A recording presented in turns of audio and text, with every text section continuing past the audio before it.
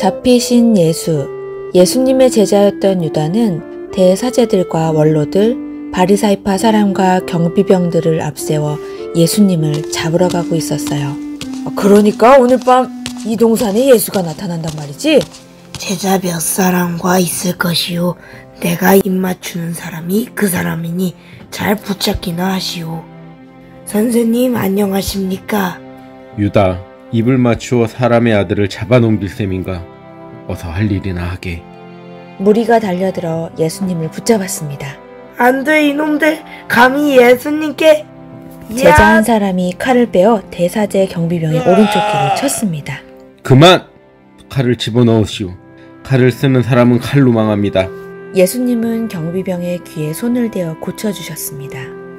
내가 매일 당신들과 성전에 있을 때에는 잡지 않더니 이제 칼과 몽둥이를 들고 나를 잡으러 오다니 내가 강도인가? 이제는 너희의 때 암흑이 판을 찌는 때가 왔구나. 예수님은 대사제의 관저로 끌려갔습니다. 그때 베드로는 멀찍이 떨어져서 따라가다 마당 가운데에 불을 피우고 둘러앉아 있는 사람들 틈에 끼어 앉았습니다. 어떤 여자가 베드로를 유심히 보았어요. 어? 저 사람 예수와 함께 있었어요. 여보시오 나는 그런 사람을 모르오. 얼마 뒤 또 어떤 사람이 베드로를 보았어요. 당신도 그들과 한패잖아. 여보시오 나는 그런 사람이 아니오.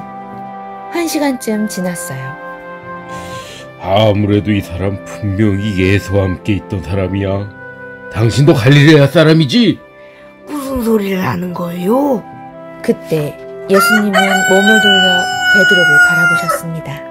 오늘 밤 닭이 울기 전에 그대는 세 번이나 나를 모른다고 할 겁니다.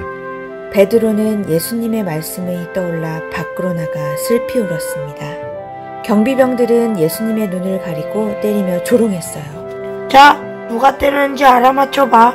신의 아들이라며 이 정도는 맞춰야 되는 거 아니야?